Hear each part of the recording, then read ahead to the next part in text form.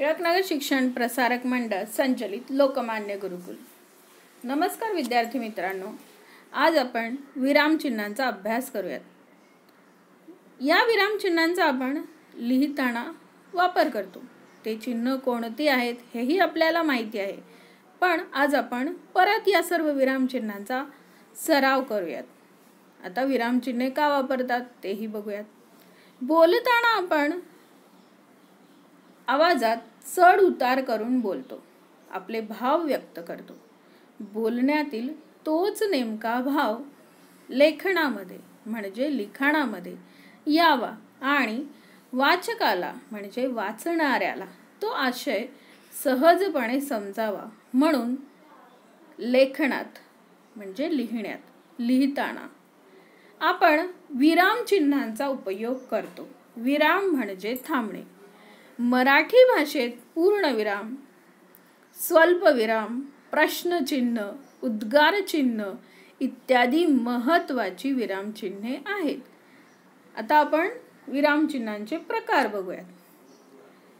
पूर्णविराम स्वल्पविराम अर्धविराम अपूर्णविराम प्रश्नचिन्ह उद्गारवाचक चिन्ह संयोगचिन्ह काकपदचिन्ह काकपद चिन्ह एकेरी अवतरण चिन्ह दुहेरी अवतरण चिन्ह. आता इथे आपल्याला संयोग चिन्ह. हे चिन्ह दिसत आहे. दोन शब्दातील संयोग दाखवताना आणि या शब्दाचा या चिन्हाचा वापर करतात. त्याचबरोबर आपण लिहिताना आपली ओळ संपली आहे आणि शब्द लिहायचा राहिला आहे. त्यावेळीही या चिन्हाचा वापर करतात.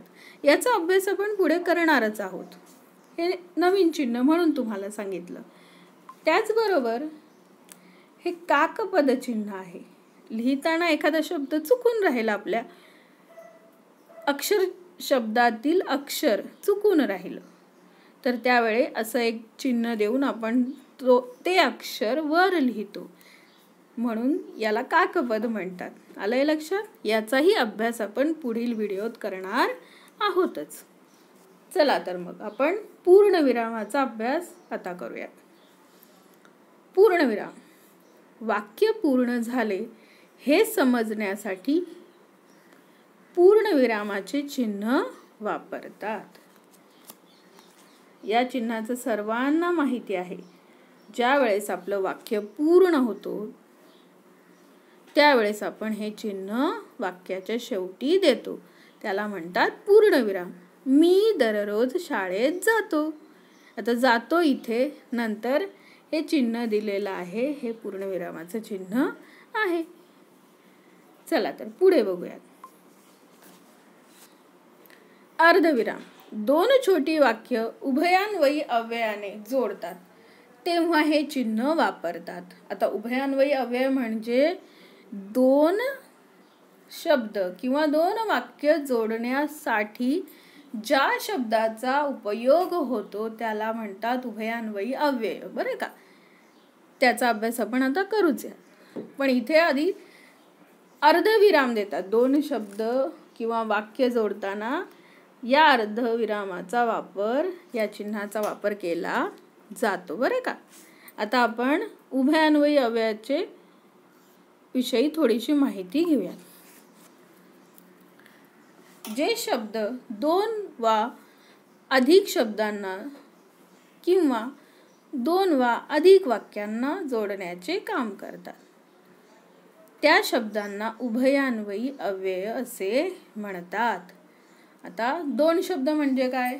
आई आणि बाबा काका आणि काकू मी आणि माझा भाऊ हे दोन शब्द जोडलेले आहेत. आणि या उभयान्वयी अव्ययाने बरं का? आता उभय म्हणजे या शब्दाचा अर्थ उभय या शब्दाचा अर्थ दोन होतो बरं का?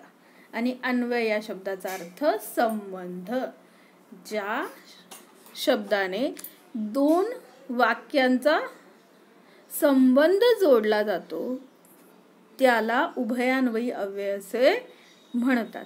आता आपण उभयान्वयी अव्ययाचे शब्द बघूयात.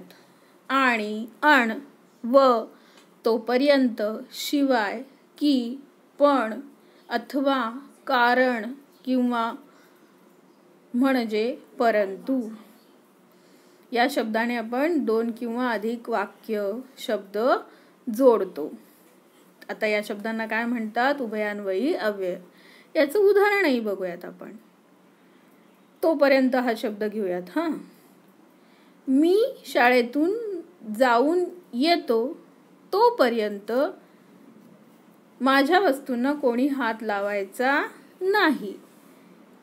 हे दोन वाक्य आपण मी शाळेतून जाऊन येतो आणि माझ्या वस्तूंना कोणी हात लावायचा नाही हे दोन वाक्य तोपर्यंत या उभयान्वयी अव्ययाने जोडलेले आहेत. आणि आता तोपर्यंतच्या आधी काय द्यायचं आहे आपल्याला? अर्धविराम द्यायचा आहे बरं का?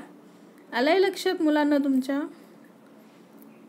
चला तर आता उभयान्वय अव्यय म्हणजे काय आणि त्याचे शब्द कोणते आहेत ते आता आपल्याला वहीत लिहायचे आहेत. धन्यवाद.